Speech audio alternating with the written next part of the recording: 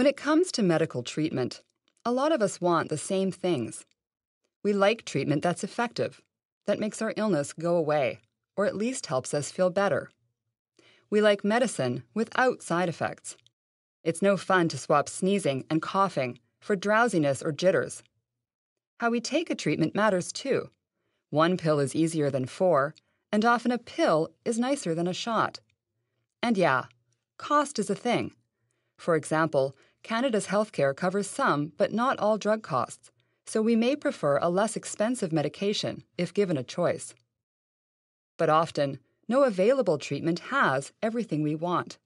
The most effective treatment might be the most expensive or have unpleasant side effects. Another might be affordable and easy to bear, but leave some symptoms. When choosing your own medical treatment, your values matter. What you choose to sacrifice might be different from someone else. Sally wants her symptoms gone, so she puts up with side effects. Robbie can't stand the jitters. He takes the milder treatment. For them, the expensive option isn't worth it. It would have to work much better. In the next video, we talk about values when planning the healthcare system. How is this similar and different from choosing your own medical treatment? Stay tuned.